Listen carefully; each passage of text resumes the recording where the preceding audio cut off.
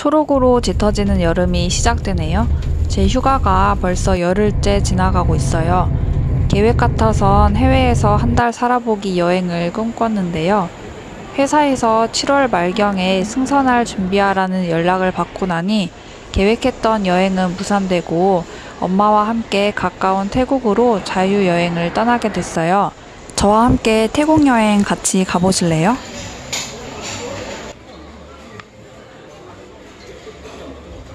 너무 갑작스럽게 여행을 계획하려니까 정신이 없었는데요.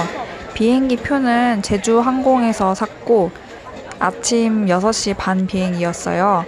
그래서 첫 차 타고 가기도 좀 애매하고 그렇다고 공항에서 계속 기다리는 것도 애매한 것 같아가지고 그 전날 인천공항에 공항버스를 타고 도착했어요. 짐은 캐리어로 두 개 정도 돼가지고 지하철은 너무 복잡할 것 같아서 공항 버스를 타고 갔고요. 한 1시간 10분, 15분 정도 타고 가니까 인천공항에 도착했어요. 도착해서 지하 1층에서 간단하게 저녁을 먹고요. 새벽 비행을 하는 여행객들을 위한 호텔들이 좀 많았는데요. 제가 갔던 호텔은 밤 8시부터 픽업 서비스를 해줘요. 그래서 인천공항에서 기다리고 있으면 약속 장소로 픽업을 하러 오시거든요. 그 차를 타고 7분에서 10분 정도 이동을 하면 호텔에 도착해요. 각 방은 문 열자마자 침대가 있고요. 화장실은 바깥쪽에 따로 있고 샤워실은 공용이에요. 호텔은 지하 1층에 있었는데 옆에 헬스장이랑 24시간 코인 빨래방도 있었어요.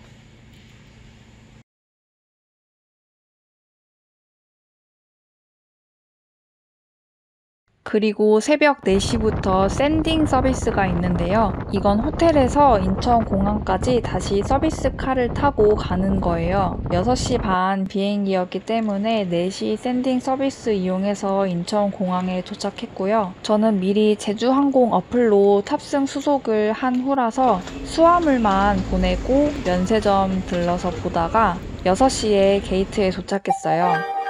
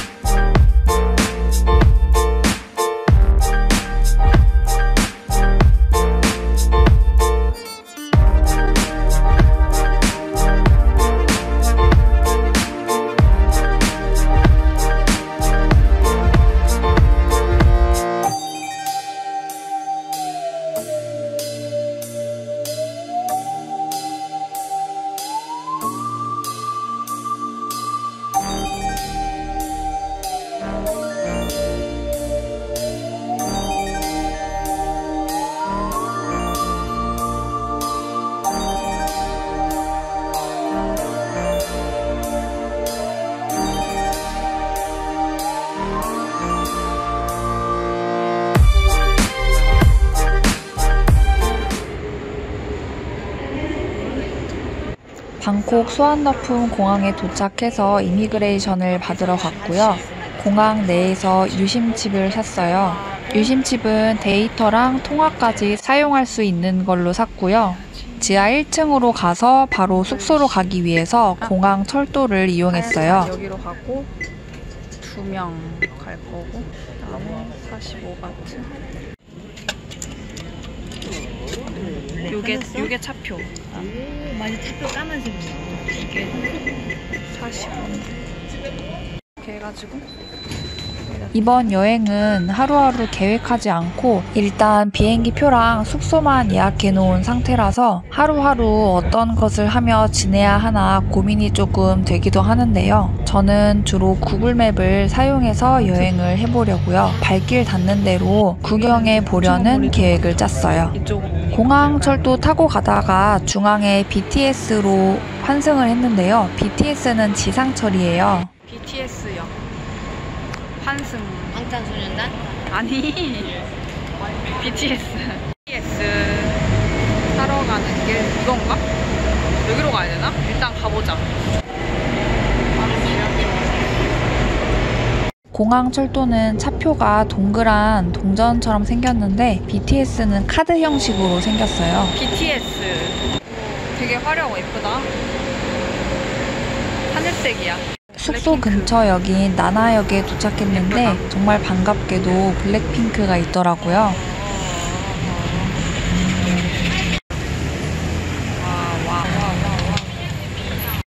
더우니까 이렇게 해놨나 봐. 더우니까. 나나역에서 5분 정도 걸어가다 보면 제가 예약한 숙소가 나오는데 호프랜드 수쿰빗 8이라는 호텔이고 이곳은 숙박비 별도로 디파짓을 받고 있는데 디파짓은 태국 돈으로 내도 되고요. 원화로도 낼 수 있어요.